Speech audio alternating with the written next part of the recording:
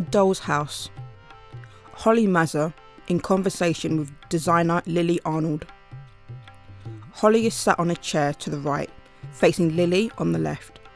They are both sat on a stage with the auditorium behind them with three tiers of seating. Holly is a 30 year old white woman with medium length dark brown hair. She is wearing round glasses, a black jumpsuit, bright blue socks with bees on them, and black ankle boots. Lily is a white woman in her mid 30s with short blonde hair. She is wearing a black crop jacket, black t shirt, blue ankle length trousers, and trainers. Hi, I'm Holly Mazur, the head of drama at Fulham Boys School, and I'm joined by Lily Arnold, the set and costume designer for A Doll's House, which was first performed here at the Lyric Hammersmith in 2019. Hi, Lily. Hello. So today we're going to talk about how you came up with the set and costume design for A Doll's House. I'm really interested in how you started this process. What parameters were you given uh, which spurred on your first design? As with uh, pretty much all productions um, that I take on as designer, uh, the theatre company um, or the venue slash theatre company where the production is being produced um, will usually give you a, a, a, sort of parameters or guideline, um, often as a document to begin with, and then we'll have a meeting about it. Um, also, what the space, the venue that you're going to be designing the show in, um, and the production manager who is who sort of oversees the the, the construction and build um, part of the design um, they will provide you with technical drawings of the venue. So you can know exactly kind of where the edges are and how deep the stage is and how tall the space is, um, whether you need to have access all around the stage in the wings for um, to allow for crossover, which is where the actors can kind of pass behind the set. Any other sort of technical things about the space that are going to inform how you design the play. You do what's called a white card model presentation, which is the first time that anyone, apart from the director, will have seen your design. Uh, and it's at that point that the, the, uh, the design that you've suggested will be costed by the production manager. So they'll take your white card model, which, as the name suggests, is usually uh, a white card version of it. So you might not have got around to painting it at all or adding te textures. It's very much a kind of bare bones um, of the structure of it. Um, and the production manager will take that and they'll start to figure out how much it's all going to cost. For A Doll's House, uh, the white card was actually, which doesn't always happen, but it was actually quite similar to what the final design was. Um, because in some ways the design for the show was quite simple because it was one static set, so it didn't have a revolve, it didn't have big bits of moving scenery. Um, so, so there was kind of not very many um, denominators. There wasn't that much that you could strip away uh, other than changing the entire design. Um, the, the, the expense with this show was that it was of such a big scale. So it filled almost the entire stage. Um, I think we had about a metre and a half upstage of the back wall of the set, um, which did allow for actors to pass behind the set unseen by the audience. Um, but other than that, it literally took up the entire kind of stage space um, and was made from lots of steel and lots of wood. Um, I think those were the two main sort of material ingredients. Um, so it was quite difficult to sort of take any of the bits of it away without, yeah, really having to change the whole thing. Great. And you mentioned that it was quite a pared back, mm. naturalistic set. What was the reason behind going for that? Um, well, I think Rachel and I felt like we needed, we wanted to um, give these characters sort of space to breathe. I think also it came from um, the character Tom refers to Niru um, a few times during the play as a, as a kind of caged bird. Um, his skylark, I think he calls her. Um, and this idea that she was this, you know, this uh, again, as he says, this exotic kind of pr precious object that was that was kind of flitting about in this quite um, concrete feeling, almost prison-like space um, that didn't have lots of detail and decoration that felt kind of over embellished. um, because actually it didn't feel to us like it was about the those kind of details and embellishments of their of their life. It was about their relationships, the relationships of the characters, and how they kind of collide and how they navigate around each other in the space, rather than how the spaces control them. And actually, Niru's the kind of she's the nucleus. She's the the kind of the center point around which everything spins. Um, and so, kind of seeing her in this massive space felt like the right the right kind of way forward, I guess. We talk sometimes in drama in terms of set design of time, atmosphere and location. Mm-hmm. Obviously this was set in Victorian Calcutta. How much did that influence your set design? Yeah, I mean a lot really, although you wouldn't necessarily immediately be able to see that influence, I guess, in a way that you would if we'd done a much more naturalistic version of the play. Um, but I think for me, it's always vital that no matter whether your final design outcome is a kind of Peter Brook white box, um, that you your starting point is what was real at that time and what was really, you know, what did things look like then and what were the people like of that time and how did they what was their sort of social system and what were the politics of the time and you know you kind of you assemble yourself the sort of known facts of that era. Um, I went to Kew Gardens um, because I'd come across um, a, a, thing called a Wardian case, which is basically a kind of mini, uh, kind of a mini sort of greenhouse, uh, which I think these days is called a terrarium. Um, but it was basically uh, a thing in Victorian times that, that people would give to each other with exotic plants in. So if you lived in this country, um, someone might send you from another country um, a tropical plant that obviously can't exist in the British climate. Um, so you'd keep it in this little um, sort of micro ecosystem of its own, um, like a kind of precious little object. And then I quickly realised that actually there's a lot of um, symbolic um, mirror, mirroring of how Niru is in the space uh, that she lives in and how Tom has kind of constructed this kind of glass house around her and that she's this exotic um, creature that's existing in a space that she can kind of see out of. She has an understanding of what the world is outside of that space, but she somehow can't access it in the way that she wants to, which is what she realizes at the end that actually she, as much as she on paper has her freedom because Tom allows her to move freely and doesn't make her wear, you know, Western clothes, those things, she actually isn't free.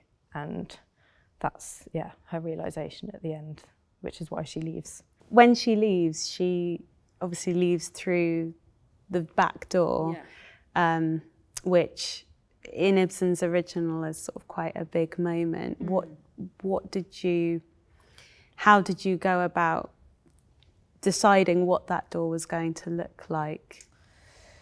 Yeah, I mean that was it was quite tricky actually because I can't pinpoint exactly why this is, but I'd felt like um, that the door that she leaves at the end has to have been unbreached um, throughout the rest of the story. And also, it felt like it needed to be visible and quite central.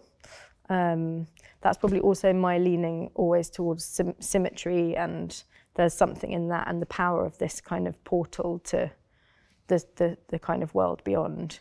Um, it became a little bit tricky because obviously there are comings and goings in the story of the play. So, you know, Dr. Rank enters and Mrs. Lahiri come, enters sort of at a similar time. And, you know, and Rachel and I were kind of like, okay, well, how can we make it make sense that this door isn't breached? Um, and then actually, uh, brilliantly, which happened a few times with this um, production, we found out that there could have been a version with the kind of courtyard house that we'd set the play in, where they had a side entrance um, to the property that would have been used by the kind of daily comings and goings of friends and family. And, you know, unless you were a kind of dignitary or someone very senior, you wouldn't have come through that main door anyway. And that door would have just been a kind of presentational um, front door out onto the street, um, but not really used, yeah, kind of day to day. So suddenly that was like, okay, brilliant. That makes that really helps because it fits in with the rest of the jigsaw that we're trying to put together. And it means that when Niru leaves at the end, she's not only kind of breaching that um, closed door, kind of moving through that um, that sort of portal, but she's also presenting herself to the world. Um, if we imagine that that door literally opens directly onto a street outside, but there's this really kind of uh, both ornate but also heavy obstacle of the door that's preventing her from that kind of free passage.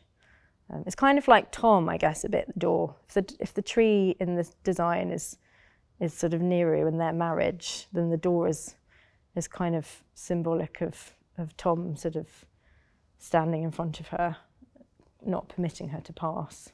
And I guess if the door in some ways symbolizes Tom and the tree symbolizes their relationship, something that struck me as being quite symbolic as well in this play was the different uses of levels mm. throughout. Um, I wonder how much that was uh, informed by the culture, um, the sort of caste system yeah. and that kind of thing, or if it was purely status driven. I remember coming into the theatre on the first day of the fit up before the set had really been painted and looking at the level of that veranda sort of balcony and thinking, blimey, that's really high.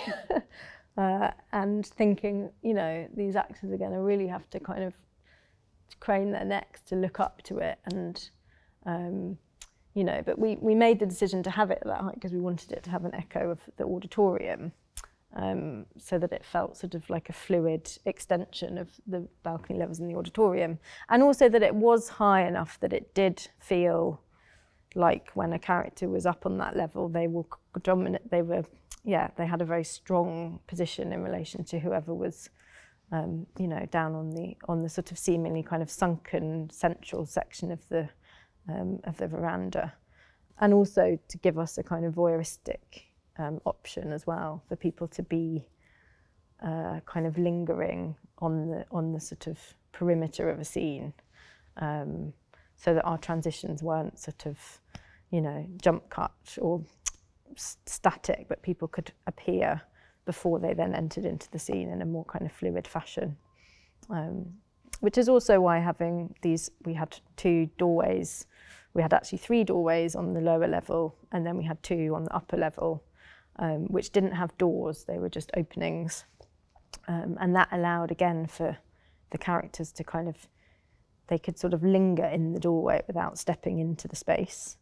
Um, so you couldn't see them coming, which gave us the option then for people to just to kind of ambush scenes and and that all kind of tied into this feeling of of tension and um, you know at any moment any conversation could be in, interrupted and people could be overheard and you know someone could have overheard Niru telling Mrs Lahiri that she'd forged the papers um, for you know, or that she'd you know procured, pr procured this money, uh, and you just wouldn't know because they could have just been just out of eye, eye line, just through the door.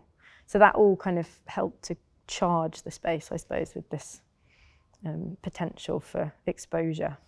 And I think that was enhanced by the fact that there weren't any set changes. Yeah. You had lighting used really effectively to take us from one room to another, as it were. Yeah. How did you work with the lighting designer to decide that? So Kevin, the lighting designer, came to the final model showing um, and saw the one to twenty-five scale version of the of the um, the design. He had this idea to um, rig the lamps, the lights to a lighting bar as we normally would do, um, but actually to fly the whole bar with, you know, 10 lamps on um, out, up during the show so that you got this sense of the light moving um, around sort of across the space um, and there, thereby the sense of time passing and the sun moving over this, um, over this house. Um, and also through the tree, he did a similar thing so that he could move the shadow around the kind of internal courtyard of the space um, which was amazingly effective actually. Um, so yeah, kind of his lighting design was in some ways very naturalistic, but then he was he also chose some lighting states that were slightly more abstract. Um, so I think for one of the moments between Niru and Mrs. Lahiri, um, which was blocked as being downstage left, um, he created a state that was actually quite kind of um, uh, defined and focused, um, which you know felt in some ways um, at odds slightly with the naturalistic space around them, but also made sense in relation to where the balconies were. And we did, we did sort of use artistic license in places to um, to suggest that we were in a different space, even though we were physically still in in the one space.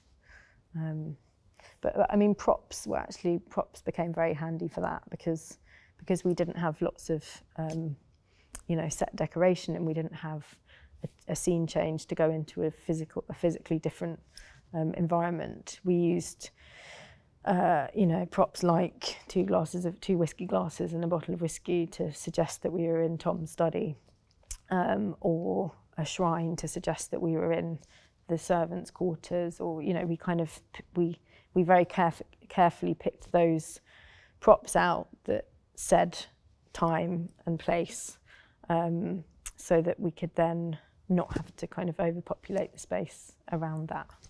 Um, so I think is always, you know, the aim really is to distill as much as you can into, um, few, for me anyway, few, kind of fewer objects rather than having lots of stuff. To what extent would you say that the set is a representation of Niru's psychological state throughout the play?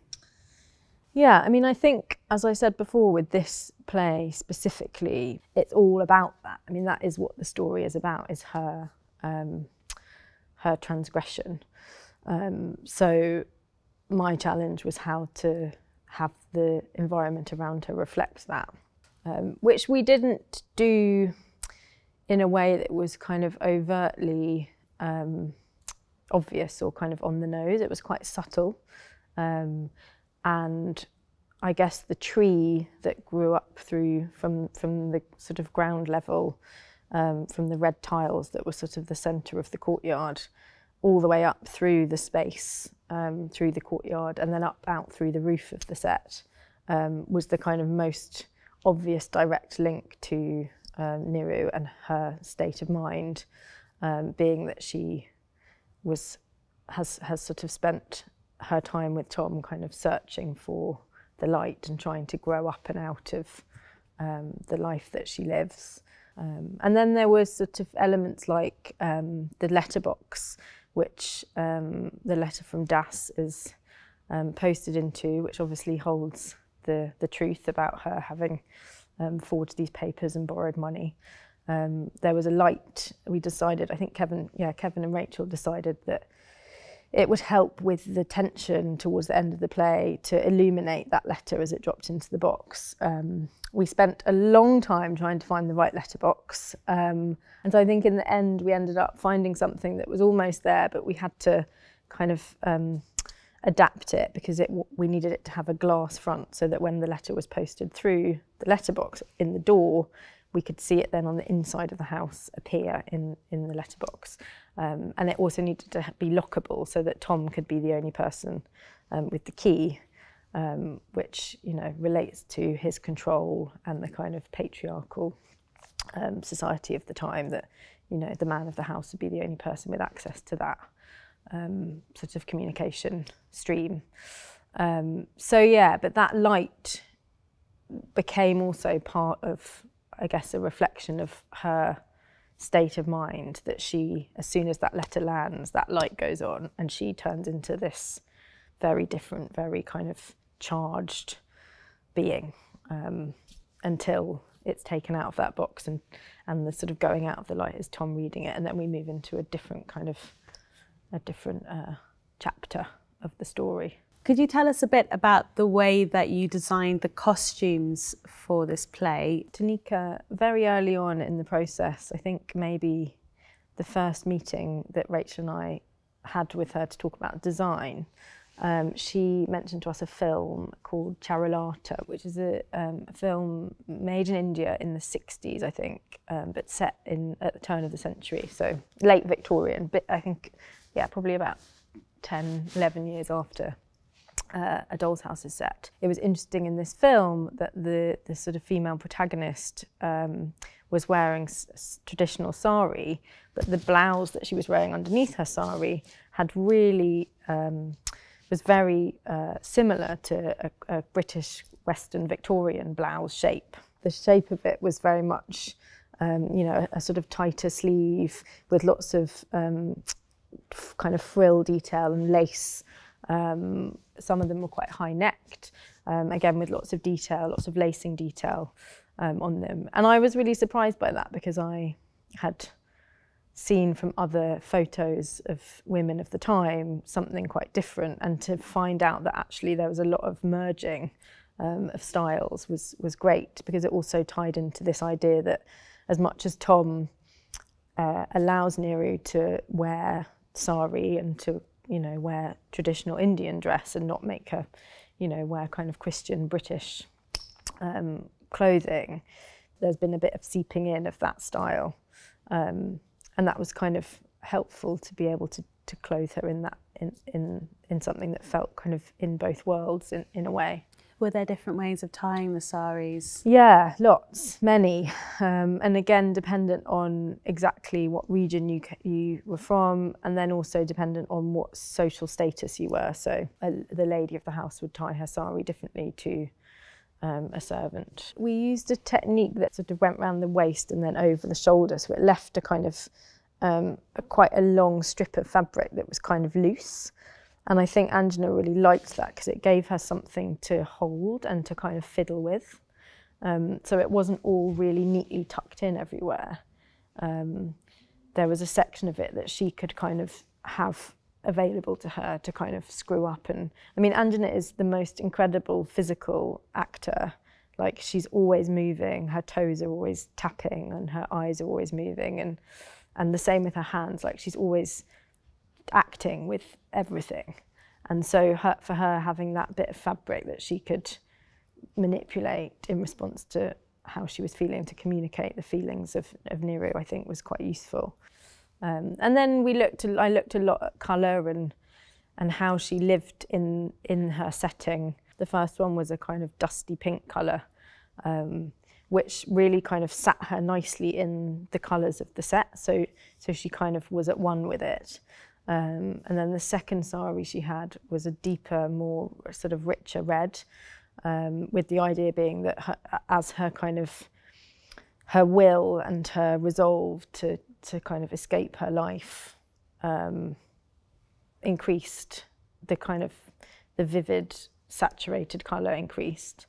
Um, and then her final costume was completely had a completely different feel to it because it was a very pale blue um, and a color that we hadn't really seen before and a very cold color and it sat at odds with the the the kind of internal environment of the courtyard of her house um, which was intentional because she's about to leave. So she's kind of put that on as a first marker of her ambition to escape her life, basically.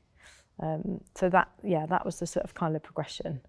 Um, whereas with the male characters, um, they, Dr. Rank and Tom, both uh, very much conformed to the dress of the time of a British colonial, um, you know, male of their kind of standing.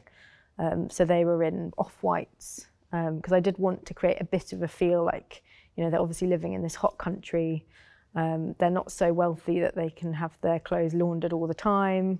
Um, you know, a bit of a feeling that, yeah, that it's hot and it's uncomfortable and they're kind of trussed up and that's not how they really want to be, but they're also unable to kind of break away from how they should be. Um, they don't have that kind of sense of freedom. Accessories and hair and makeup how much did that tie in with the costume design? For Anjana playing Niru, she had, I think she had four or five different um, looks with her hair. So we started with it being um, up, um, neater, and by the end it was a much more relaxed um, kind of down look.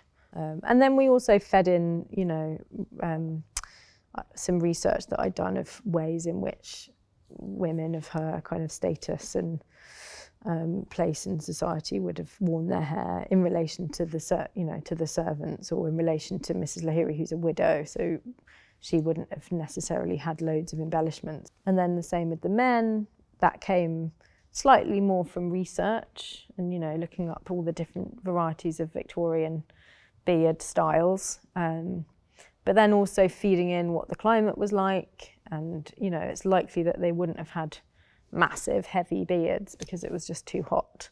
Um, and then, so you're kind of feeding in historical context, and then you're also feeding in character context. So, as much as Tom might have had a big beard and very well kept hair, his character doesn't necessarily befit that. So, we went for a kind of slightly longer hair for him um, that suggests that he, you know, does look after himself, like he's not completely wild um, but also uh, he doesn't come across as a very kind of slick back, buttoned up person. who's kind of somewhere in between.